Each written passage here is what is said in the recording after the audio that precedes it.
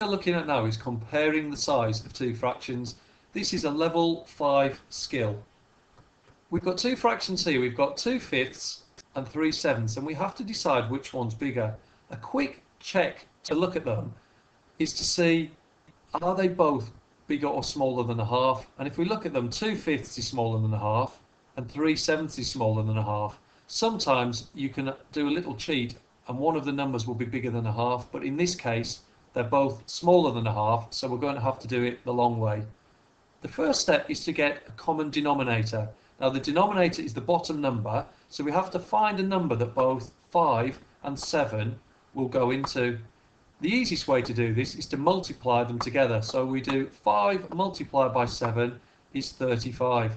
So our common denominator is 35.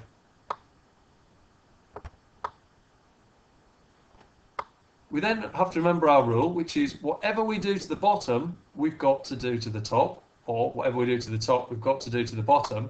So in this case, we've multiplied the 5, the bottom number, the denominator, by 7. So we have to multiply the numerator by 7. So we do 7 multiplied by 2, which is 14.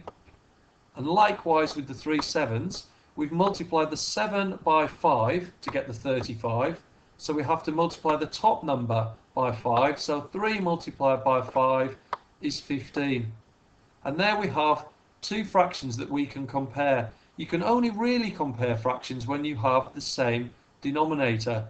And in this case, 2 fifths equals 14 35ths, but 3 sevenths is slightly larger because it's 15 35ths. So the largest one is 3 sevenths.